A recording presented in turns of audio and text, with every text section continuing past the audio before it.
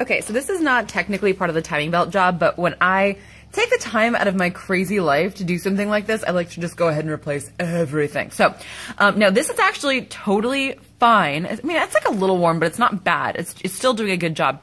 Um, however, I made a huge order, so I got, here's the part number here, um, a new one. Now, um, this is the, the tensioner side, this is the, the pulley side, and I've got a new pulley too, since my old one was quite shot. This I did need to replace. This, this I didn't, but I'm gonna say this is a spare since I plan on driving this precious car forever. Um, I don't know if someday they're just not gonna make stuff like this anymore, so I don't know. I'm, I, I save everything. But anyways, one thing I did notice was you see how the thickness of the old tensioner versus the new tensioner. So these bolts aren't going to fit. So I just had to find, uh, I just had to find bolts. I mean, I, I have a whole stash of, of Volkswagen hardware, but I had to find some bolts that were like a little bit shorter and just sort of measure them. This, this one goes all the way through, um, just to make sure that that this um, this tensioner assembly would work. And then, of course, whenever you pull this out, just make sure that you lubricate the shaft inside of there so that everything moves nice and smoothly and life is good. Um, yeah, I've actually seen these C's inside of there, only in New England though, not here in Texas. But um, if you've got a car in New England that lasts this long, um, yeah. So there we go. Uh, now I'm going to get back to the timing belt. All right, so now I'm just swapping my thermostat and the thermostat housing from my old unit into my new unit. And you can see that the one here from the Continental kit has that metal impeller, and that's the one that you want, or that's the one at least that I want. now I'm just going to install this, and you can see there my surface is all nice and clean and smooth. And I'm not going to put anything on there. The old one that was on there did have some goop. I'm not sure why. Did I do that? I don't know. Um, I don't remember doing that, but that was a while ago. But I'm not going to put anything aside from the O-ring on there. Um, and that'll be all that I need now that my water pump is on, I can go ahead and put my auxiliary shaft pulley back on. Um, now this is the exact same pulley as the cam pulley. It has the exact same part number, so if you mix them up, no big deal. And this, of course, is keyed, so I'm going to go ahead and same as before in order to tighten it. Put my 13 millimeter socket on that bolt have my 18 millimeter socket.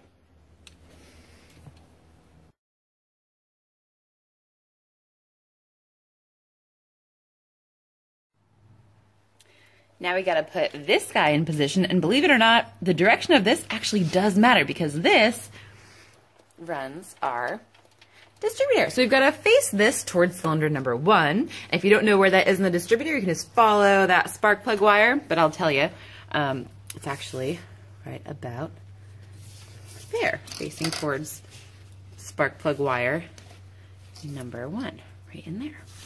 What's also really cool and a good way to double check if you've set your distributor timing properly is that there is, I'm not sure if you can see right there, on the plastic, there's a little cutout and that corresponds to a mark, a notch on the actual distributor housing itself. And obviously the, the plastic, um, you'll see how there's little tabs where it sits where the clips go.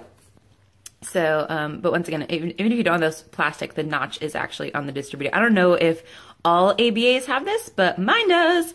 So it's a great way for me to double check that I did my pink distributor timing correctly. And sort of moving up the engine. Next, I'm going to put my tensioner on. Um, and the Conti kit actually comes with all new hardware. So I'm just going to pull off this old post, put on this new stuff.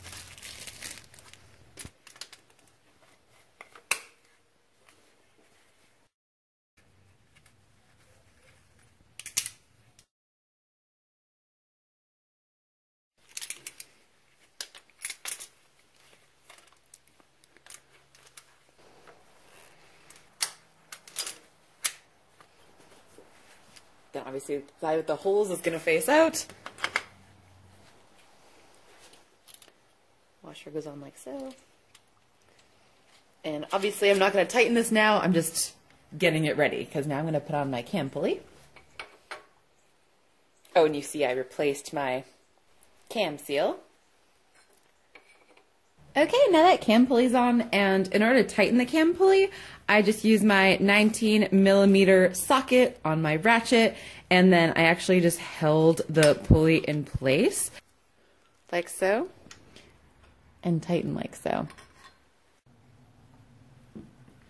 Now, before I do, I'm always going to compare new and old. This They make it super easy because here we got the part number is the same, and it shows it replaces the same part, so that's awesome. But once again, I'm going to just verify the width is the same and also the length is the same. Why am I doing that? Just so if something goes wrong or if I have any questions, I'm not just, you know, I'm not going crazy. I'm, I'm verifying that that is not the cause. I'm ruling out the cause the belt is the issue. Now this, this side is the side where we're going to be adjusting tension. So the side where I really want the tension to be spot on is, is this side. To install my new belt, I'm just going to start by hooking it over that crank pulley. And then I'm going to install, I'm just going to put in that hook right there. Not too tight, you don't want to damage it, I'm just hanging it there, hope it stays. um, then I'm gonna install my lower timing cover and then my crank pulley just to make sure that everything is lined up and I am on time with the crank. Okay, so there we go. I have my lower timing cover installed and my crank pulley temporarily installed. And you can see that I painted the arrow yellow to make it a little easier for myself to see in my dark shop. Um, then I put my timing belt on, or rather I just pulled it over the cam pulley. Last, I put that nut and washer on, and now I'm just going to tighten up the belt now that I've verified that I've got time on my cam, time on my crank, and of course,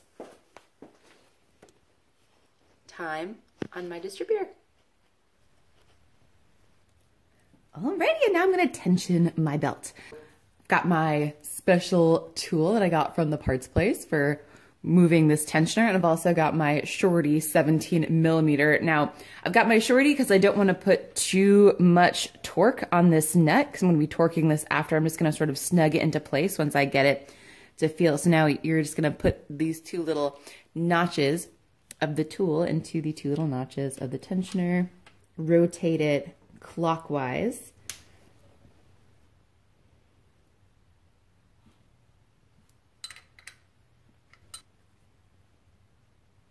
You want to tighten it until you can rotate the belt about 90 degrees or so, but no more.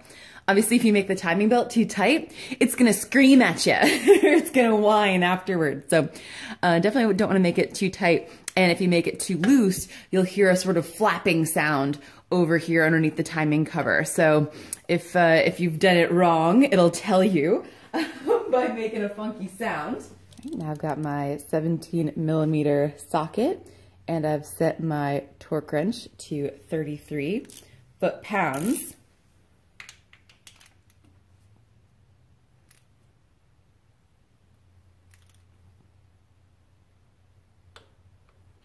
And there we go.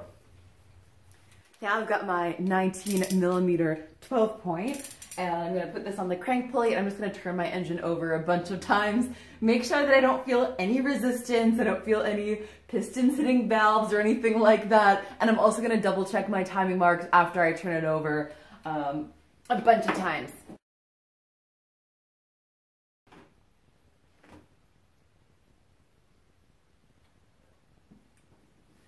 So far so good. So obviously every two rotations of the crank is one rotation of the cam and uh, or one full engine rotation. So I am gonna do that a bunch more times because I'm paranoid. I recommend just doing two full rotations of the engine and double checking twice. Um, also double checking your distributor timing and then you're good to go. I'm gonna permanently install, well semi-permanently at least for now, um, install my lower timing cover and my crank pulley and then I'm gonna start putting everything back together. Um, now, obviously, you saw me take everything off. um, installation is just the reverse of removal. So um, I think you can probably handle that. So I hope this was helpful. Thanks y'all, bye.